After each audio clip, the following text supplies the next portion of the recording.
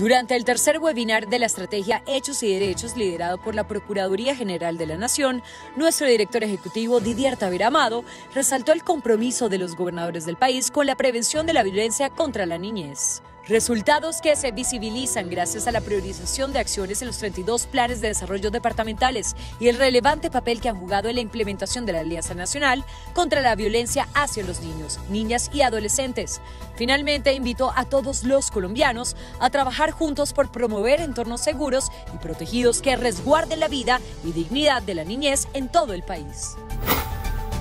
La Federación Nacional de Departamentos inició esta semana la socialización del nuevo régimen departamental con las gobernaciones del país, con el objetivo de avanzar en su implementación. Se hizo énfasis en los principales cambios que trae esta actualización y su impacto en la gestión administrativa, además del trabajo que se realizará con los equipos departamentales para aterrizar las nuevas iniciativas legislativas y reglamentaciones derivadas de esta norma.